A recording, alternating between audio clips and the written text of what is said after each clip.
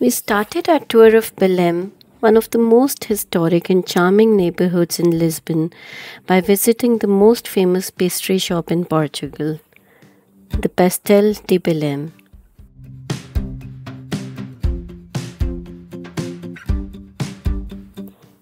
The Pastéis or Pastel de Belém sells the iconic Portuguese custard tarts.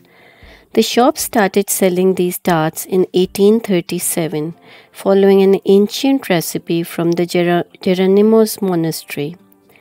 This secret recipe is recreated every day in the bakery using traditional methods.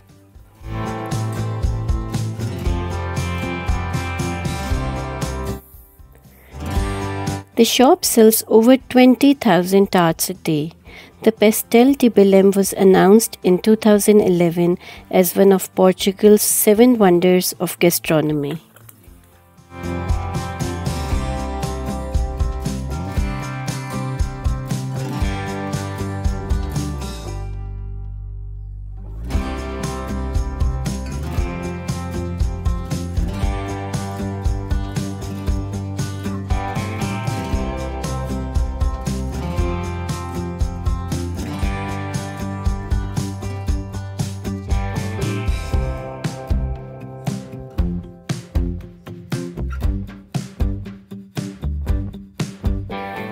The flaky pastry filled with an egg and cream custard is usually eaten with a sprinkling of cinnamon and powdered sugar.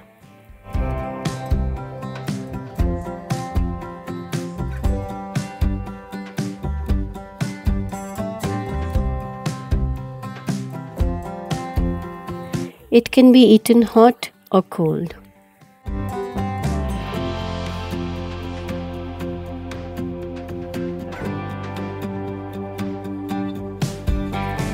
One of the most stunning examples of late Gothic architecture in Portugal, Jerónimo's Monastery and Church is among the country's most visited landmarks and a UNESCO World Heritage Site.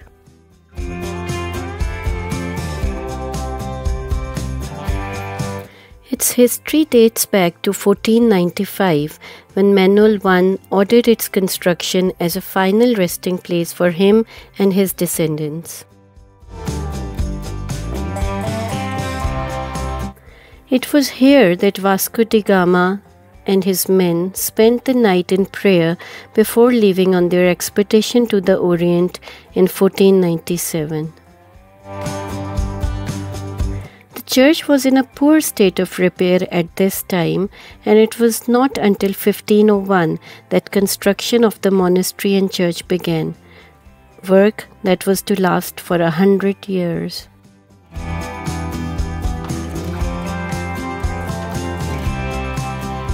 The design and construction is one of the most prominent examples of the Portuguese late Gothic Manueline style. Manueline is a richly ornate architectural style with sculptural themes which incorporate maritime elements and include objects discovered during naval expeditions. The stone used was a gold colored limestone.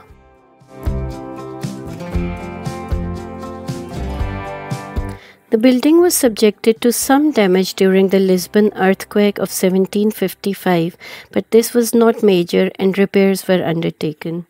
Restoration work was begun in 1860s, including the significant alterations to the dormitory annex and the facade when it was to take it on its current appearance. Work was to continue through to the end of the 18th century.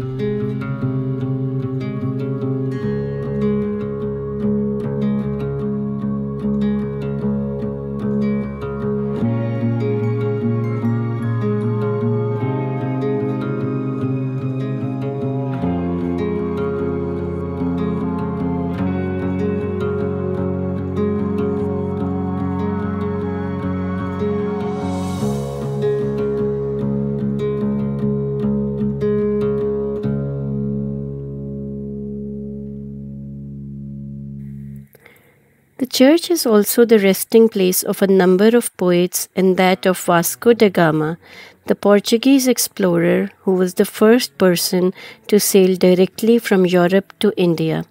His tomb is located in the nave of the monastery's church on the left by the main entrance.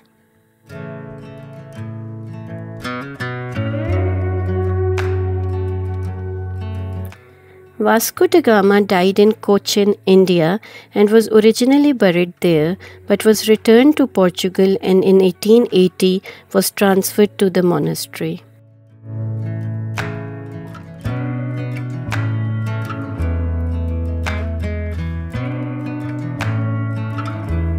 The monastery, together with the Tower of Belém, was designated a UNESCO World Heritage Site in 1983.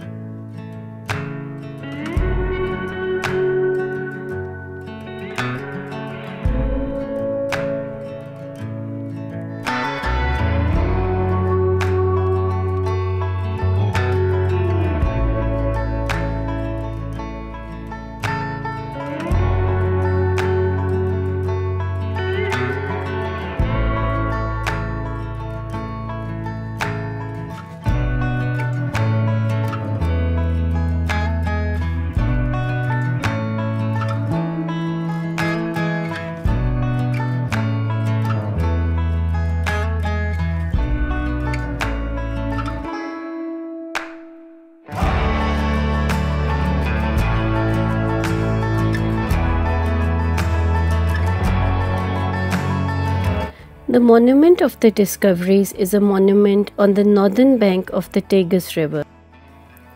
Located along the river where ships departed to explore and trade with India and the Orient, the monument celebrates the Portuguese Age of Discovery or Age of Exploration during the 15th and 16th centuries. This monument stands at 170 feet or 52 meters tall.